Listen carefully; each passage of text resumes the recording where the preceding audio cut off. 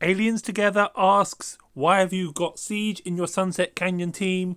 Well, it's a good question, but the real question should be, why haven't you got Siege in your Sunset Canyon team, especially early game? Let's have a look why people don't like Siege. Quite simply, they are a restricted march. They have no advantage over any of the other marches.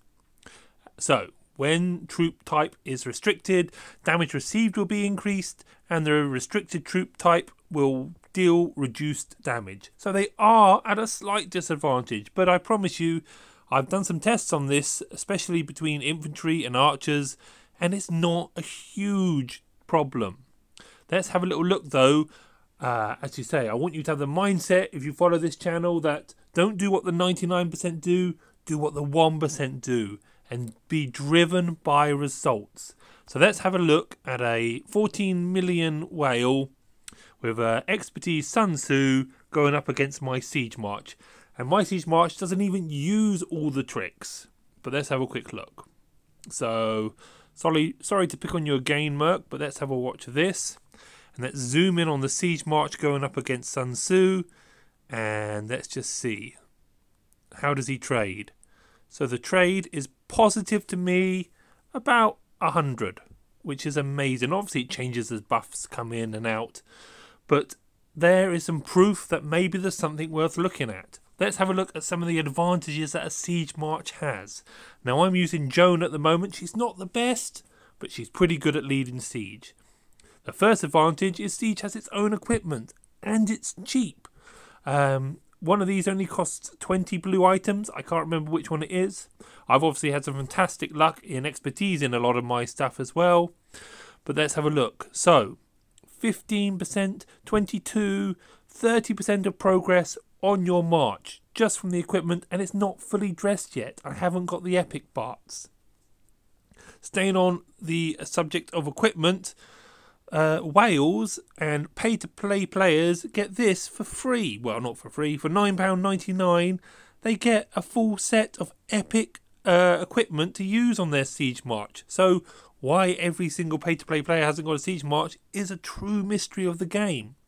So, Siege Defense 6, uh, Attack makes 10, uh, that's another f- 2 of each, so that's 14 and then another 4 on attack there. That's 18% of progress just for free without crafting a single blue item. You could also fit another two, two blue items on that uh, with that equipment.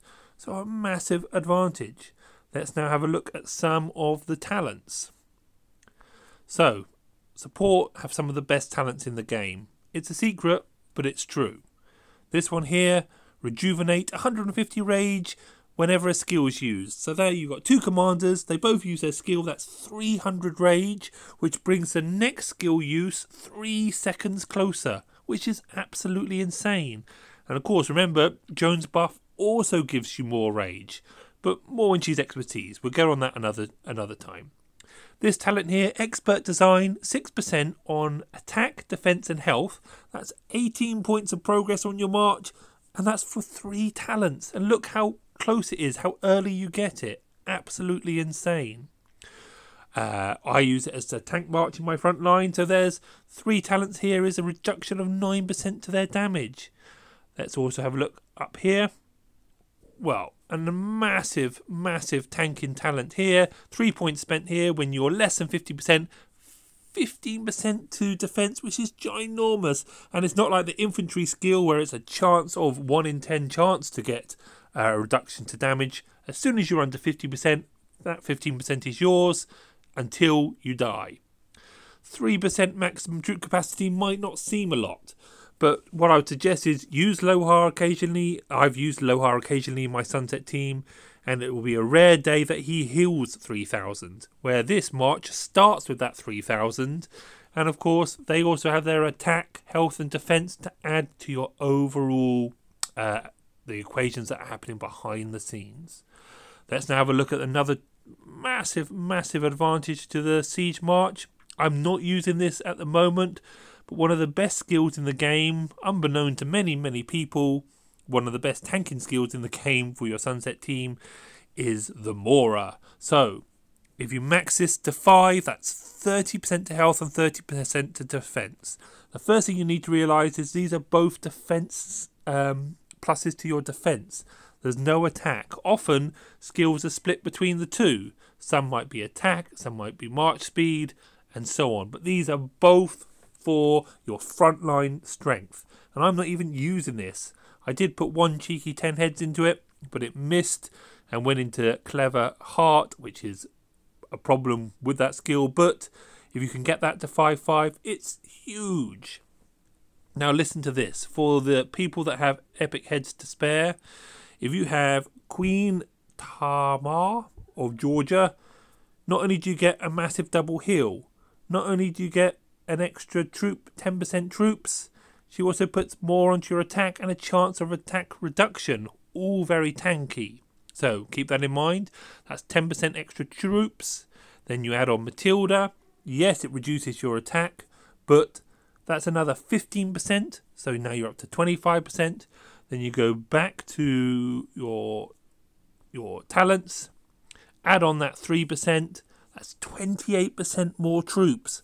I mean, you can have a Martel Richard march not heal 28,000 in a Sunset Arena. Just in a huge, huge tank in march. So, as I said, the question is why haven't you got a Siege March? They're absolutely brilliant for early Sunset.